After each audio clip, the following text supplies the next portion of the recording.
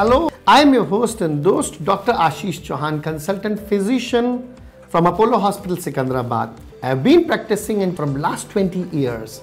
Today, wants to talk to you about something important related to diabetes and actually beating uncontrolled diabetes with good glucose control.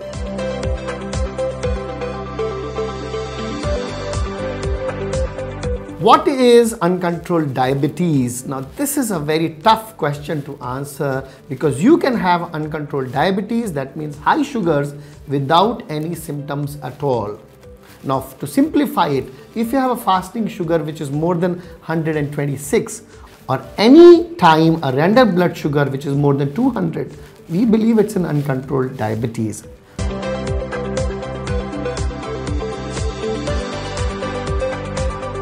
So about the symptoms of diabetes, you can be absolutely asymptomatic or you can be having increased thirst, increased hunger or increased urination.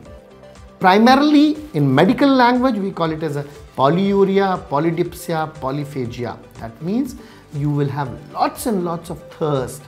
You may lose weight or you may even gain weight, but primarily losing weight is a feature of uncontrolled sugar. Going to the loo or pass having lots and lots of urination can be because of diabetes. If you have a wound which is not healing, check sugars first.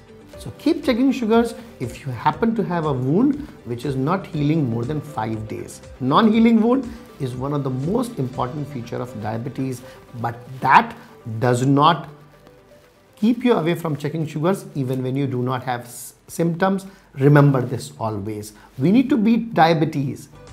We are the diabetic capital of the world and I'm not happy to accept that. Symptoms of diabetes, if we need to discuss, out of our experience which we have seen, we've had people coming to emergency with heart attack, paralysis, kidney failure, and in a very serious condition, and that day they got to know that they have a diabetes. Please don't be one like that.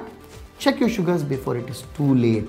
And that's why beat the diabetes with regular checkup and proper glucose monitoring is what you need to remember if you have a family member who has got diabetes.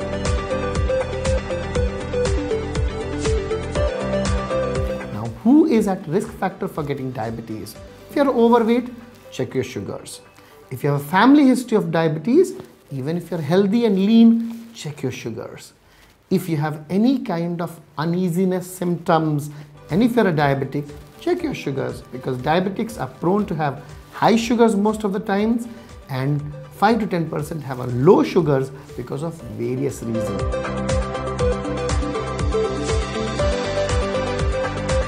Diabetes is on the four pillars. What are those four pillars? Fasting blood sugar, PPBS, HbA1c and GV, what we call it as glycemic variability.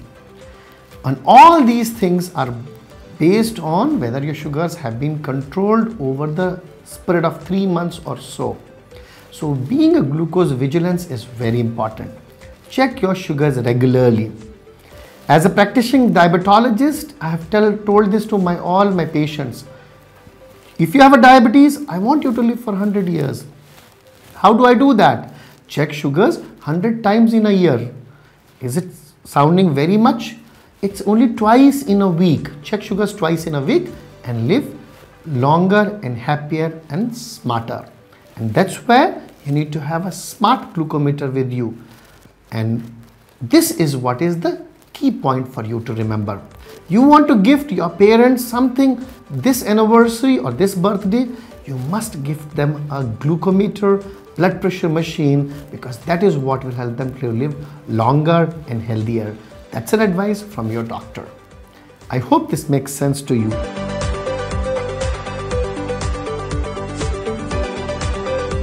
Check your sugars regularly, maintain a register of it and bring it to your doctor. As a doctor, if I see the fluctuations at home, I can manage your sugars well and which will make sure that you do not get hypoglycemia or hyperglycemia. Both things are dangerous. Hypoglycemia, that is low sugars, anytime sugars are less than 70 is hypoglycemia, which can be dangerous, life threatening. And hyperglycemia, sugars more than 200, and that would damage your end organs. What are the end organs which get damaged? Is your heart, brain, kidney and eyes. So remember this tip. Check your sugars regularly, make a record of it, bring it to your doctor. Saved. Yes, unko save karna hai na. Saved is what you need to remember. S A V E D. S is for SMBG, self monitoring of blood glucose.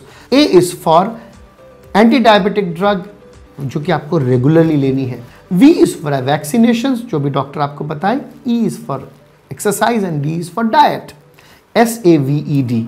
SMBG, anti-diabetic drug, vaccinations, exercise and diet. I hope this acronym will save you, will save the whole world.